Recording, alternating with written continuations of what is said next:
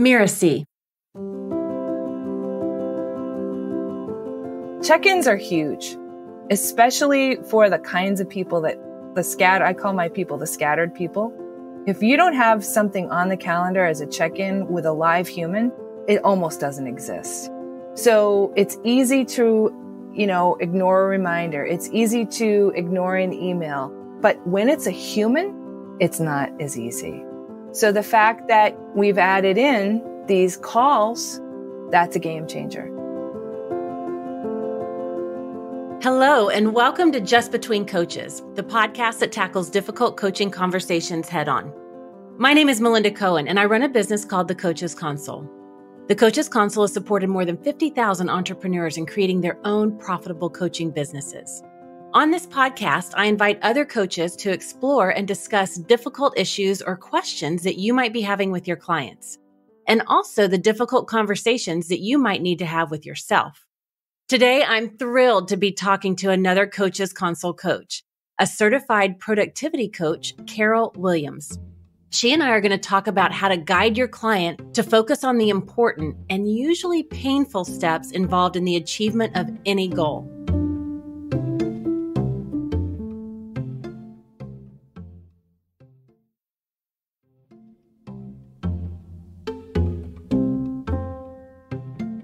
Carol Williams has a passion for productivity. She's a professional organizer and owner of Efficient Productivity Systems. She supports and empowers individuals and teams to realize their goals and dreams, particularly in the area of time, task, and priority management. Welcome, Carol. Thank you. I'm excited about today's topic, Carol. Like, you know, I love productivity and systems, but let's start a little bit with your background. What brought you to coaching? Right. Great question, Melinda. The easy answer is I got laid off. So I didn't have a job and I needed to do something. So I had to reinvent myself in 2009. And I was drawn towards professional organizing because I had a lot going on and I needed the systems for me. So I thought, well, I can go ahead and help other people. Pretty soon after I started that in 09, I realized I didn't want to be in people's closets. So I pivoted to focus on business. And what I know is that whatever we resist persists. And I resisted because really the truth is, is that by client number two, I already knew I was a coach, but I resisted calling myself a coach because I didn't have the certifications. So I kind of put the brakes on for several years and had some stuff going on in my personal life as well. But in 2015, no, or maybe 14, I can't remember now. I took that front page of my website and with my business coach at the times called myself then a productivity coach. And he's like, you got to own this. So I did. So I totally came in through the back door.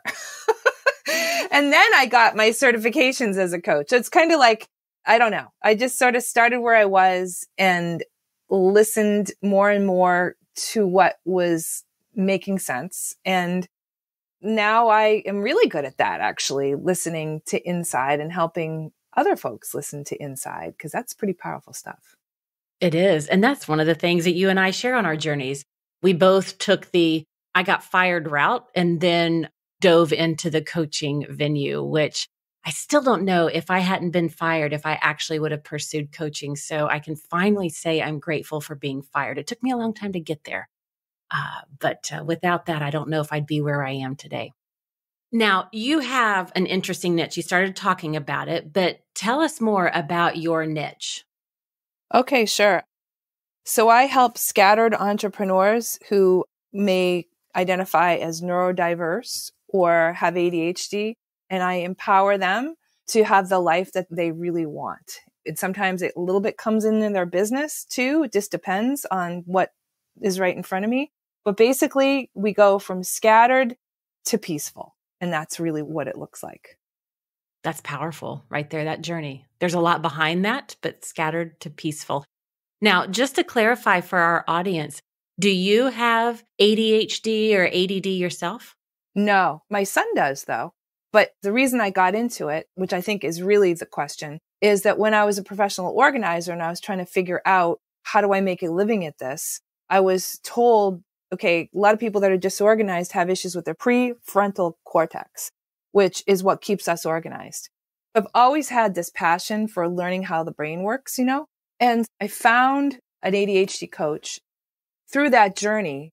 She had ADHD herself. I learned a ton about it. And what I learned was that I love people that identify as ADHD or neurodiverse and that these, these people are, are the people that change the world. And I learned through her that it's not a disorder. It's a gift. And so I spent years actually in her office where she would work with the kids, like in after school stuff and help them through school because school is not meant for people that aren't a certain cookie cutter way.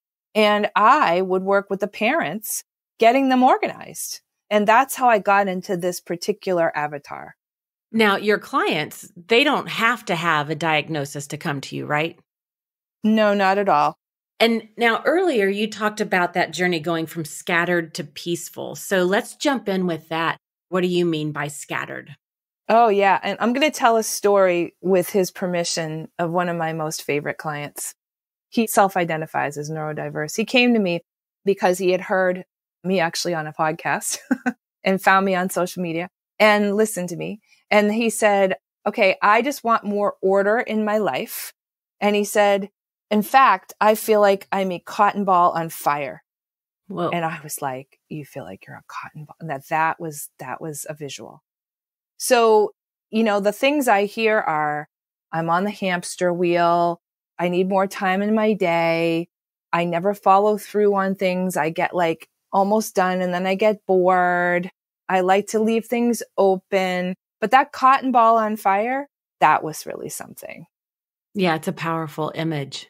And whether somebody associates with that or has had an actual diagnosis, or, you know, so many of the students and clients that come into our, I mean, you're a coach for us. You, you see this as well, you know, talking about more order in my life.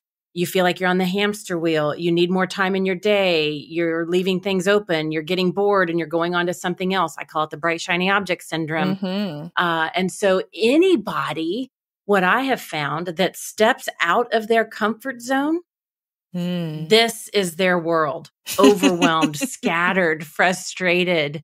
And when they start that new journey, really, I mean, for us, it's entrepreneurs, but it could apply to any niche that when you have a client that says yes to working with you, they've just taken a leap out of their comfort zone. And all of this is true. Do you see that as well? Yeah. Yeah. You hit the nail on the head. You're absolutely right. The difference is that people who will identify with the words kind of know that they see the world differently and they know that there's certain ways that they work better. Oftentimes I hear them say, well, I'm a visual learner. If somebody says I'm a visual learner and says all these other things, you start to see the patterns, right? Over time.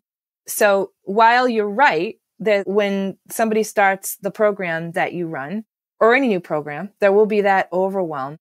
There's some people that will just kind of settle right into it and go. And there's other people that will start quickly, get overwhelmed and start telling themselves lies about what isn't true. And there's other strategies kind of behind the scenes that they sort of need to really stay organized that maybe are different than the quote unquote average brain. Right. Yeah it's a, a slightly different approach, experience, understanding, journey, like everything is different. And so, what are the usual explanations that you get from clients who aren't participating in the work or have a hard time focusing, aren't following through? What are some of those things that you hear from clients? Well, it's almost never that they don't want to. It's usually if somebody kind of falls off the wagon, they forget they need a lot of reminders. There needs to be a ton of external reminders, accountability. It's out of sight, out of mind. They want to do it and they planned on doing it, but they just don't because until it's a routine that is so ingrained and it takes a while to get that routine. And then even then it goes away. So what I hear is, Oh, geez, I'm sorry. I forgot or something like that. Then the other thing is, you know, the one we hear a lot, like the old life gets in the way stuff. It just tends to get in the way more. Or I got one of them I just heard, um, I got swept away by my day. Mm. It's, it's just hard. It's hard for these folks to stay focused more so than just the average shiny object. And when you are working with these particular types of clients, you know, with what's actually stopping them, you're asking them about this, and they usually have a hard time describing what's going on, right? Like, isn't a lot of this, would you call it subconscious behavior? Yeah, until we identify it. But it's like we need mini deadlines, for example. So if the danger of having a long term client that has a brain this way is there's this, well, I have plenty of time. It's like plenty of time syndrome. Or the other thing they might say is like, I work really, really well at the last minute. There has to be a deadline, like a time scarcity. When I talk about that, I said, Oh, I see. You need that time scarcity, like, because that catapults you into action. And then it'll be like, Oh, yeah, that's what it is. So we create these little mini challenges within the work. You know, I've learned that from other coaches on our team that like the fun part, it's got to be fun with contests and prizes and mini deadline. Like I do that all the time. They love it, mm-hmm. you know? Mm-hmm. So I'm not sure if that answered your question, but I was trying to find an example instead of just a generic answer. Yeah. So it really speaks to the behavior, right? Until they can create a new pattern and a new habit, they may not be aware of it. And so it's our job to create the container for them to succeed in right out of the gate. Yeah. And then the other thing too is even when the routine is set, it needs help staying set. It's almost guaranteed that it will run off the rails and any little thing can do it. Certainly something like going on vacation.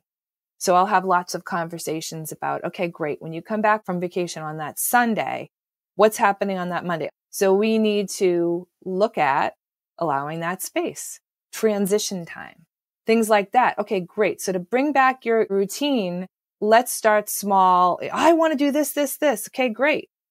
Let's start with number one and we'll nail that and we'll go. To, so it's baby steps and bite-sized pieces and, and reminders. This is great. And it's the in between, it's the transitions that really require more attention.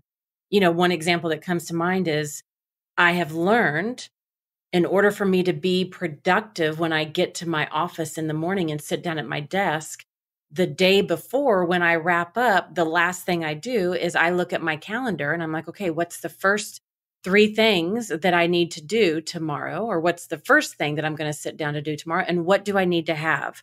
What notes, what materials, whatever it is. And I prepare it and I get it ready. And then I leave. And so that my transition is in place and covered, and then I'm not wasting time. And so I love how you talk about bridging the interruptions and planning for that and breaking it down into bite sized pieces. Now, I was just, it's so interesting that this coincided with the topic that we've got today. I was just in a discussion in the mastermind that I'm a part of. And this question is perfect for this topic. And what we were talking about in that discussion thread was how do you train your students and members, your clients, to be more productive when they first start working with you or start in one of your programs? So I'd love to get your input on that. If we're going to call me productivity expert and someone says, how do you make somebody more productive? Well, the first thing I'm going to want to know is how you want to measure that. Like, what exactly does that mean to you or to, you know, what result do you want? And then we can work backwards, right? And figure that out. Check ins are huge, especially for the kinds of people that the scatter, I call my people the scattered people. If you don't have something on the calendar as a check in with a live human, it almost doesn't exist. So it's easy to ignore a reminder. It's easy to ignore an email. But when it's a human, it's not as easy. So the fact that we've added in these calls that's a game changer. So you notice that I didn't say, well, teach them how to block their time. We got to do that too. Uh, we've, we've got to dig into what's really going on behind the scenes. Like what's really behind No Time Tina in the, in the villains and superheroes that we teach. Like what's really happening, right? Yeah, it was another game changer when we identified the villains and superpowers, the patterns when people would disengage or disappear or disconnect in our programs or in our coaching, giving them that information and that intel ahead of time helped to quote unquote train our students to be more productive because they were getting in their own way a lot less. Now, I know you've got a signature system, right? You call it the productivity success cake. What is that and how do you work with this? Tell us more about this. Okay, sure. What's the cake and how does it work? So, um, after many years of being certified in other programs and um, just uh, listening, and just like you teach, Melinda, after a while, you start to see patterns over and over and over again. And then you, create a system based on what you're seeing time and time again. And so that's what this really is. And so I'll go back to how are the problems being presented? So they are being presented like I can't stay focused. I'm procrastinating. I'm not doing the work. I put it down and I ignore it, all that kind of jazz. Well, what we do, and on my website, there's a little quiz you can take called the productivity quiz, where we go through each and every layer so that a person can self assess and say, Oh, I get it. And this is how it goes. The productivity layer um, itself is really layer three. And what people tend to discover as they go through the process is that it doesn't start with that layer, right? We start with the bottom layer, which is the health layer. And the health layer is made up of several pieces. They're all made up of several pieces. But basically that bottom layer is made up of the pieces called food, exercise, sleep, meditation, and medicine or supplements, especially medicine, because if we have something that we need for a diagnosis, we got to make sure that that's taken care of, right? Otherwise, it's just supplements. That represents the health layer. The next layer up is the environment layer. And so that's everything from your physical space to your circle of support to lighting your light to having those motivated and clear goals. It's like, you know, it's kind of like what are you surrounding yourself with? Then and only then do we fully move into that productivity layer, that power focus, that remembering to remember time, tasks, procrastination, interruptions, etc. After that, we're at the top tier, you know, and that's where we have that rinse, repeat, sharpen the saw, continuous improvement, upward spiral, as the Coaches Console will say in our high end programs. And frosting is the why. Now I kind of say, Hey, it all needs to sit on like a platter of purpose. So if your platter isn't even very stable, you might want to, you know, start with your purpose stuff. Okay. And then finally, last but not least is the candles and they're very important. And I need to thank you personally, Melinda, for instilling how important this is uh, in, in my work. And that is the celebrations. And, mm. uh, yeah, so the candles are the celebrations and we have to do that. So that's kind of an overview of the cake. And so that's the container that your clients will experience how they navigate, you know, whatever they've come to you for coaching in, right? If I understood correctly, like the health and environment, those bottom layers, before somebody can be productive, you've got to help set themselves up for being successful and being productive. Correct. And that does not mean you need a 10 in everything, like I have them rate themselves one to 10. You can kind of work it in layers working up. But what we don't want is we don't want like a zero. And so, for example, sleep, I put that right in the middle. So there are five spaces, right? So right in the center there, that's sleep on the bottom layer and the health layer. I said, it's not like Jenga. You can't just push it through and have everything hold. There's a lot of people with sleep issues that wonder why they can't stay focused. right. And it's laughable, but it happens like all the time. Now, walk us through your process of uncovering like the real issue or struggle or pain for your clients. Yeah, thanks for asking. So, what I do actually is I do that right at the very, very beginning the inventory, assess, and discover. So, right at the beginning, I go pretty deep into, um, into what your goal is, why it's important, what happens if you don't achieve your goal, what happens if you do achieve your goal, like what are the prizes and punishments? That's what I call them. And what's at stake. And through that process, some pretty deep stuff comes out. Often there's, oh gosh, well, I don't really have a goal. So what that means is we need to seriously just start with, okay, let's make sure that you have enough water every day. Let's make sure that you're having enough sleep every day and so on like that. And it's not a turnkey thing. What happens is, I think you're asked a little bit about what about those painful places that get opened up and they reveal themselves. And I'll use your words that I borrowed. And it's like massive compassion, right? You have to have that massive compassion for people and hold that space in that container because otherwise those things are just not going to come forward. One thing I learned from way back when, when I started, I didn't know what I didn't know. I just thought, well, I'm going to help people get more done in less time because I'm really good at that. And I wasn't holding the kind of space that I can hold now and going deeply. So if coaches are listening to this, wondering how they can help their clients really get to those deep places that they can fall apart so they can get rebuilt, it's really that compassion and that space holding in such a deep way. Yeah, I love that. Now, do you have any other tips for coaches for what to do when their client has a hard time focusing and doing the work to move forward? The short answer is listen, listen for what's not being said, you know, ask, follow them, use your amazing coaching skills, throw out the book and just hear them and it'll get uncovered. We sometimes tend to want to do some formula, but at the end of the day, great coaching has to do with great listening and intuition and powerful what questions. And that's really all it boils down to. And it's just practice, practice and become the master that you are. I would have one final thing that I just thought of when we were thinking about how to train our students. I've said it before on some other shows, but I want to bring it. I think it's an important piece to help our students and clients be productive, be efficient, working smarter, getting results when they hire us. And that's this idea of onboarding. You know, so much of what we talked about, you know, you talked about having external reminders or those many challenges or breaking it down into small bite sized pieces. And a lot of that can be done in onboarding, like covering that gap between when somebody says yes and the moment they have the first session with you or the first module or the first lesson.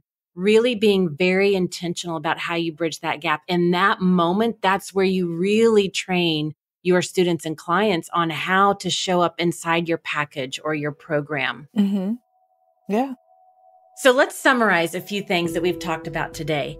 Whenever we're taking our clients, like Carol said, from scattered to peaceful, whether they associate with that neurodiverse or ADHD or ADD or some sort of diagnosis, or they are just taking a leap out of their comfort zone, it's important to remember that we have to provide our students, our clients, with external reminders. One of my favorite takeaways is what Carol talked about having those mini, M I N I, those mini deadlines to help keep them accountable and moving forward, to make it fun and break our coaching, our programs, our modules, our lessons, or whatever we're, however we're working with our clients, breaking them into bite sized pieces and bringing in the celebration. And then when it comes to training our students and our clients, I love how Carol said first, we have to ask what does it mean to be more productive in our coaching package, in our program, and how do we want to measure that? From there, you can work backwards with whatever you're creating. That was one of my top highlighted takeaways. And then having the live human interaction, that that can't be overlooked. If you're offering online courses or group programs, having those check-in milestone calls, having those live group calls, and then getting to how to block your time, how to plan your time, how to prioritize, that there's certainly room for that. And then I love that we talked about things that really doesn't seem to have anything to do with productivity, but oh, it does.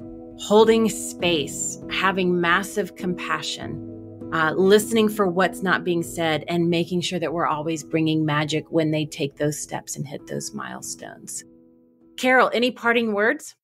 Well, that was really well said. I loved how you wrapped that up. so, Thank no, you. No, that that about covers it. Thank you. Awesome. All right. Well, thank you for listening to this episode of Just Between Coaches. And also a big thank you to Carol Williams for this fascinating conversation. She's in the middle of building a community as well. Unscatter Me Business and Life Productivity Hacks, in which she's committed to helping clients to improve their lives The link will be in the show note, and you can find out more about Carol at www.eps-time.com. That's E-P-S and then a dash time.com. Carol, thank you so much for coming on the show. Thank you so much, Melinda. I'm Melinda Cohan, and you've been listening to Just Between Coaches. Just Between Coaches is part of the Mirasee FM network, which also includes Course Lab, Making It, and Once Upon a Business. This episode was produced by Cynthia Lamb. Michi Lantz scripted and assembled the episode. Danny Iny is our executive producer. If you don't want to miss future episodes, please subscribe to Apple Podcasts, Spotify, or wherever you're listening right now. And if you like the show, please leave us a starred review. It's the best way to help us get these ideas to more people. And if you have a question for Just Between Coaches, put the show title in the subject line and send it to podcasts at mirasee.com. That's podcasts, plural, at Mirasee, M I R A S E E dot com.